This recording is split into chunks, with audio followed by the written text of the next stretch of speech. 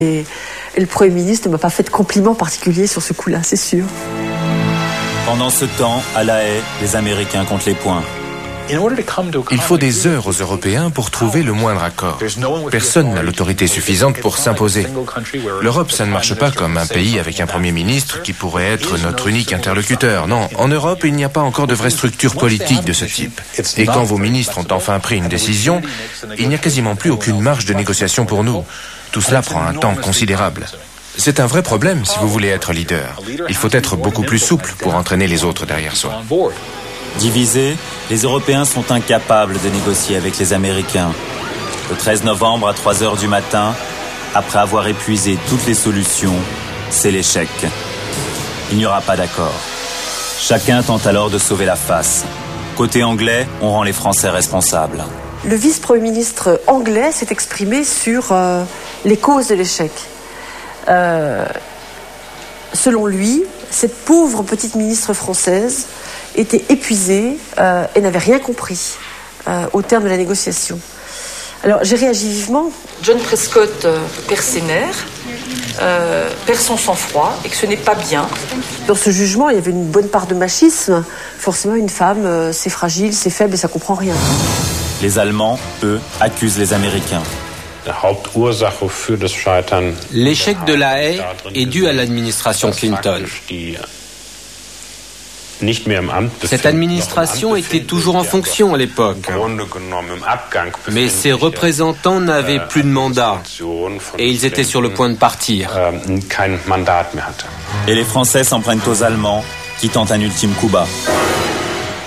C'est à ce moment-là qu'un de mes collaborateurs vient me voir en me disant euh, Je suis vraiment étonné, ça s'agite beaucoup euh, chez les Allemands, et je viens de voir le ministre allemand euh, quitter sa chambre pour aller à l'étage où sont les Américains. Et, je, me rends chez les Américains et je trouve effectivement le ministre allemand en train de, négocier, de, négocier directement une éventuelle solution de dernière minute avec, avec notre homologue américain. Je pense que on va croire que j'essaye de m'en sortir.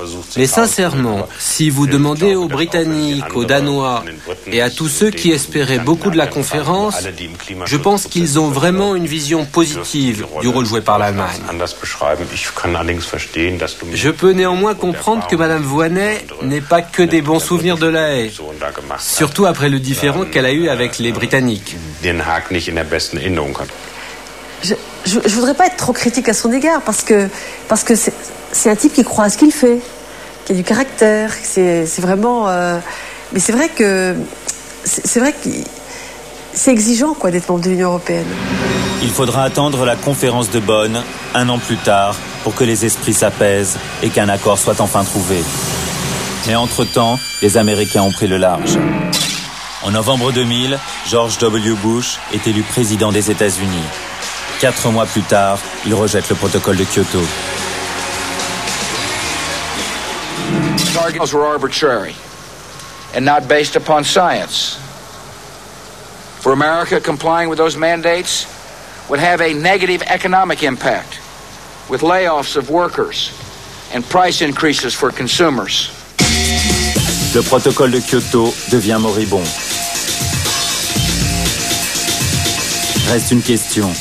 Pourquoi Bill Clinton n'a-t-il pas fait ratifier Kyoto quatre ans plus tôt Pour répondre à cette question, il faut savoir qu'avant même l'ouverture de Kyoto, le Sénat américain avait déjà voté une résolution. Le texte affirmait qu'aucun traité sur le climat ne serait ratifié s'il avait des implications économiques néfastes. Bref, pour les Américains, Kyoto était condamné d'avance. Et alors pourquoi avoir fait le voyage Eileen Clausen était conseillère de Bill Clinton pour l'environnement. Si j'étais cynique, je dirais que c'est facile d'aller négocier un traité quand dans le fond, on n'y croit pas vraiment. Si j'étais moins cynique, je dirais qu'on a fait un gros effort de négociation qui n'a jamais abouti. Ce qui m'est apparu assez vite clair, c'est que les États-Unis n'entendaient prendre aucun engagement international. Et c'est d'ailleurs euh, une habitude chez eux ils participent en général à toutes les négociations en tant que, partie membre de l'Organisation des Nations Unies. Euh, ils exercent de très forte pression sur le déroulement de ces négociations euh, pour que les engagements pris ne soient pas trop contraignants. et ils ne donnent jamais aucune garantie sur leur intention de signer ou de ratifier. Ils l'ont fait sur de très nombreux textes dans le domaine de l'environnement, où ils n'ont pratiquement ratifié aucun engagement international. Je crois que, que c'est une stratégie construite et qu'ils n'avaient aucune intention euh, d'aller jusqu'à la ratification effective du protocole. Je pense que les Européens sont plus forts en rhétorique que n'importe quel autre pays au monde. Um, Et puis vous devez comprendre qu'après la signature du protocole de Kyoto, le président Clinton s'est retrouvé impliqué dans un scandale qui occupait une grande partie de son temps. Quant au vice-président Al Gore, il se préparait aux élections présidentielles, ce qui, là aussi, lui prenait beaucoup de temps. Alors il n'y avait plus vraiment de leadership à ce moment-là aux États-Unis. Les Américains partis, les Européens vont tenter de sauver les meubles. À partir du moment où les États-Unis n'étaient plus là pour donner l'impulsion, n'étaient plus l'acteur majeur, les Européens ont dû faire des concessions pour que le Japon reste, des concessions pour que le Canada reste, des concessions pour que la Russie reste, et vous savez quoi? Des concessions pour que la Finlande reste, des concessions pour que l'Espagne reste.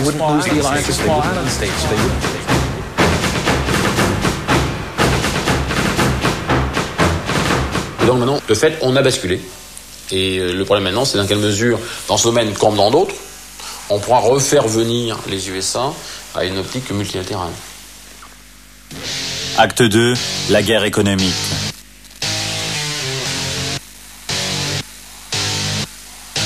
Derrière les affrontements de Kyoto, c'est toute la politique énergétique du siècle prochain qui est en question. L'enjeu est considérable. Pétrole, charbon, gaz fournissent aujourd'hui 90% de l'énergie mondiale. Et les besoins pourraient doubler d'ici 2030. Renoncer à ces énergies fossiles dans un temps très court, comme le propose l'Europe, constitue donc une véritable révolution.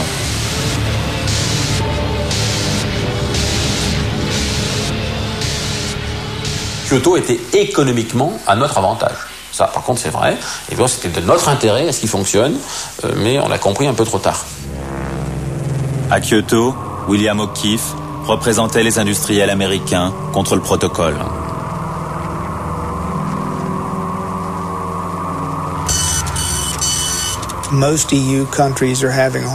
La plupart des pays de l'Union européenne ont du mal à rester dans la course avec les États-Unis. On dit que c'est à cause de leurs taxes, des impôts trop élevés, d'une administration trop rigide. Au lieu de faire des réformes chez eux, ils cherchent à freiner les États-Unis. Mais le destin en a décidé autrement. À moins d'une révolution technologique, les énergies renouvelables ne combleront que 5% des besoins en 2050. Dans ces conditions, renoncer aux énergies fossiles et au nucléaire est un pari risqué. De plus, tous les experts le reconnaissent, cela entraînerait une augmentation du prix de l'énergie.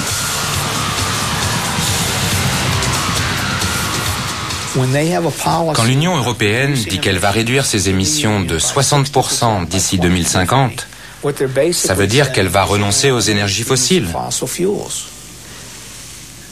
Simplement, la question que je pose, c'est par quoi vous allez remplacer ces énergies La plupart des pays comme l'Allemagne sont en train de fermer leurs centrales nucléaires, même si ce n'est pas le cas de la France. Est-ce que vous pensez vraiment que l'éolien ou le solaire peut remplacer le charbon, le pétrole et le gaz en Europe d'ici 47 ans? Cela me semble complètement irréaliste. Mais c'est une question culturelle. Ça paraît légitime chez vous, en Europe, de se fixer des buts très élevés sans avoir la moindre idée des moyens pour y parvenir. Kyoto implique des réformes radicales qui effraient beaucoup d'Américains. À eux seuls, ils consomment un quart de l'énergie mondiale. Et contrairement à l'Europe, ils ont misé sur une énergie peu coûteuse. Aux États-Unis, si le charbon augmente, le prix de l'électricité suivra. Si le pétrole augmente, le secteur des transports sera le premier frappé. Bref, pour les Américains, toucher au prix de l'énergie, c'est menacer